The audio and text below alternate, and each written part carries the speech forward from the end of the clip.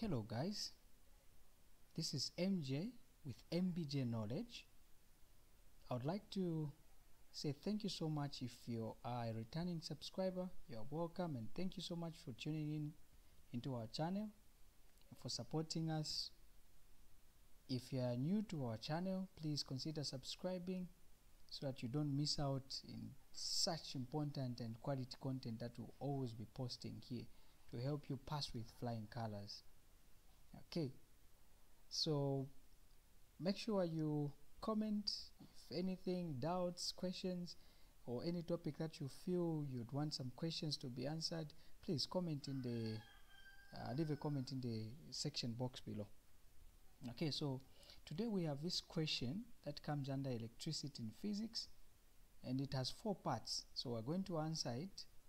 I've seen a lot of students having challenges when it comes to a combined circuit where you have series and parallel circuit being uh, combined together.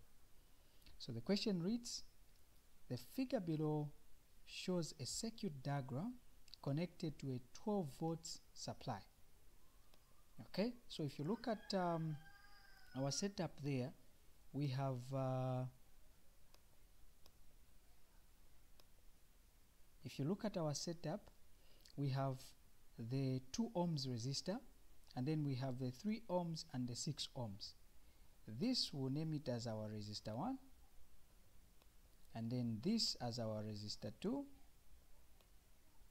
then this as our resistor 3 okay so resistor 1 is in series. Resistor 2 and 3 they are in parallel circuit. Okay keep that in mind let us go to the question. Calculate the combined resistance of resistor 2 and resistor 3. Okay, calculate the combined resistance of the 2 ohms and the 3 ohms resistor. So if you look at the 2 ohms and the 3 ohms, these two they are in parallel.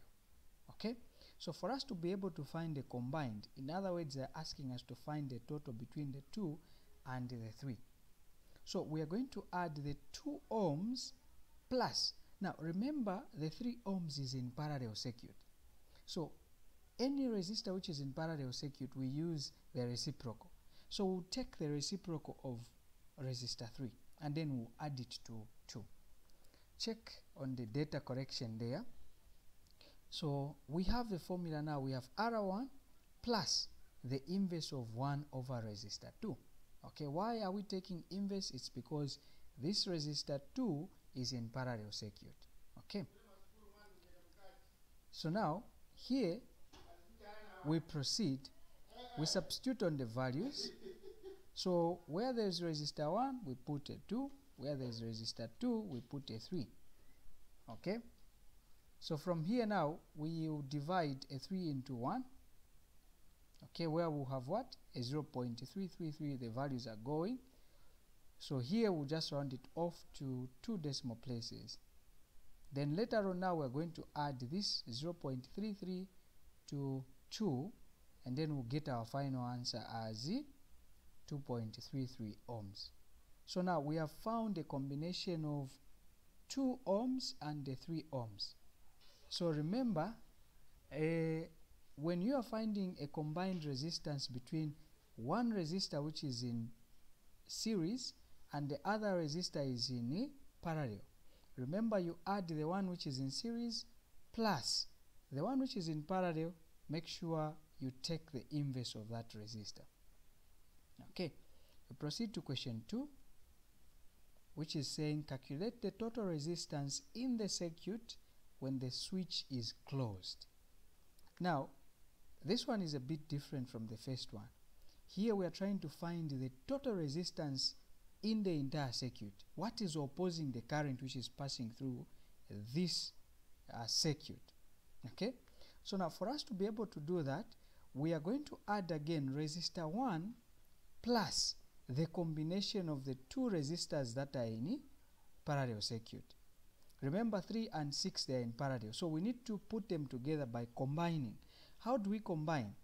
Now, there is a, a shortcut way you can use when you have only two resistors.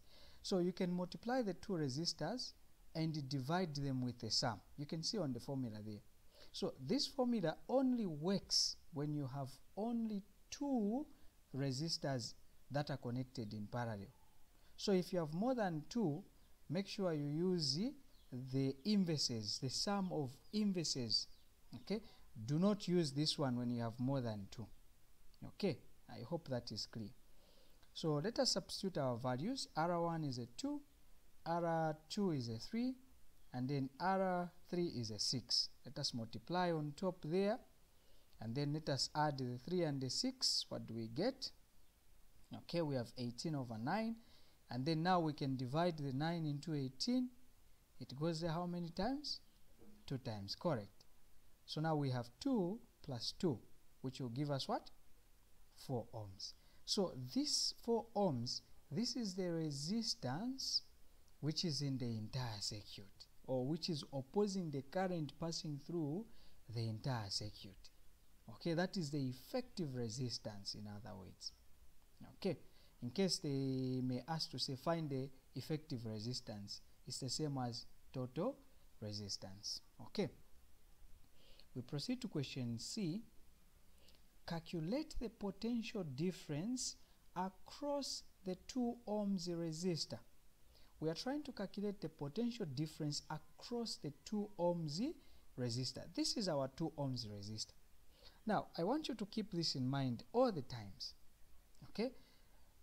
This resistor which is in series here it receives the current which passes through in the entire circuit. So the current that will pass through these 2 ohms it is the same current which will be in the entire circuit. It will be the total current. So for us to be able to calculate the potential difference remember if we go back to those two words there is emf there is pd potential difference and electromotive force they are two different things when you look at the 12 volts here this is emf because it goes through the entire circuit okay? It drives the charges in the entire circuit. But now we are looking at the energy that is being converted on one particular component that is now what we call as potential difference. So they are asking us to find just the voltage which is being used by this 2 ohms resistor okay? So for us to do that it means we need to know the current which goes through these 2 ohms okay because the resistance we already have. Now for us to find this we'll use total voltage we also use total uh, uh, uh, total resistance because we are finding total current okay. So on the formula there we'll use voltage equals to current times resistance okay. So current I've said you can just divide the 12 divided by the 4 where are we getting the 4 4 is the total resistance. 12 is the total voltage. Okay? So on the data there when we divide 12 by 4 we are getting 3 amps. So this is the current which is running in the entire circuit and that is what we want. Okay? Resistance we have a 2 so we can multiply 3 times 2 where we'll get a 6 volts. So that is the potential difference which is going or which is being used by the 2 ohms resistor. Okay. We go to question number D. Calculate the current flowing in the circuit when the switch is closed. Now here this question is a repetition okay? Because whatever we did here when calculating this you can see on the data there whatever we did that's exactly the same thing we're going to do on the last question. So that is why i'm saying it's a repetition question. Okay. So we are saying for us to calculate the total current we need total voltage one. Two we need also the total resistance. Okay. So going by our formula current is equal to voltage over resistance. So we just divide total resistance is 4 total voltage is 12 so 12 divided by 4 we have our 3 amps as the total current which is flowing in the entire circuit. Okay. So thank you very much guys for watching. And please don't forget to subscribe if you haven't done so so that you don't miss out to important content like this one. See you in the next video